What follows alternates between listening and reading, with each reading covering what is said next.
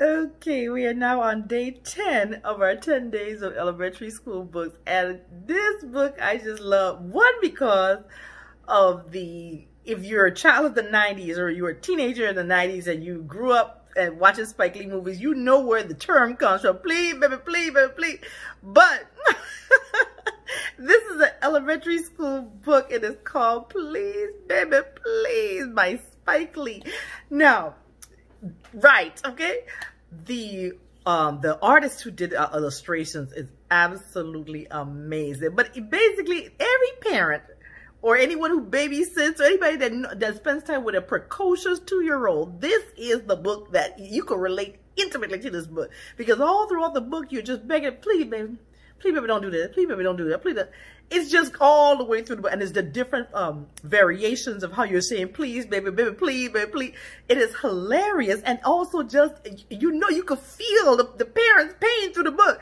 But then at the very end of the book it's like you know, please, can I get a, hug and a kiss, mommy? And of course, come on, that's your child. You just, despite all the drama and pain and struggle you go through, and this child not obeying all day long, that's the one thing you will do.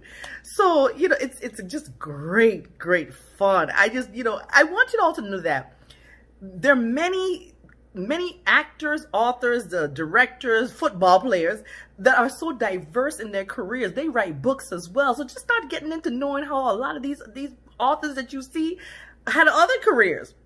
A lot of people write books and great books. And on top of that, they write a lot of elementary school books that will really surprise you. And I really, truly enjoyed this book. And um, I'm trying to see if I can find some audio versions for you because there's always someone that's reading the book aloud. So find a version on YouTube that you can listen to and you'll, you'll, you'll also understand. Anybody that has small children understands this pain. So I hope that you enjoyed the 10 days in elementary school books. And I really, um, when I'm going to come back with another 10, I mean, there's thousands of books out there. So, and if you could find a book that you recommend or that you truly enjoy, go ahead and share it with me as well. All right. And I will do a book review. All right, guys, have a blessed day and I will talk to you later and I'll be back soon with yet another book. Bye.